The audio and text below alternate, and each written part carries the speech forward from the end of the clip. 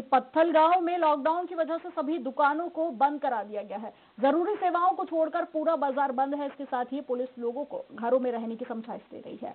किराना दुकान, फल और सब्ज़ी मंडी और दूध सेंटर समय सीमा में खोलने के निर्देश जारी किए गए हैं। वहीं सब्ज़ी मंडी में अव्यवस्थाओं का आलम भी देखने को मिला है। सब्ज़ी खरीदने और बेचने वालों ने नगरीय प्रशासन पर तानाशाही का आरोप लगाया है। वहीं तहसीलदार इस बात पर ध्यान नहीं दे रहे हैं, जिससे लोगों को काफ़ी परेशानी का सामना करना पड़ रहा है। तीन से छः लगेगा। अधिकारी निर्णय ही नहीं ले पा रहे हैं। खुद भी दिग्भ्रमित है पब्लिक भी दिग्भ्रमित है। पेट्रोल नहीं मिल रहा है सब तरफ़ परेशानी है।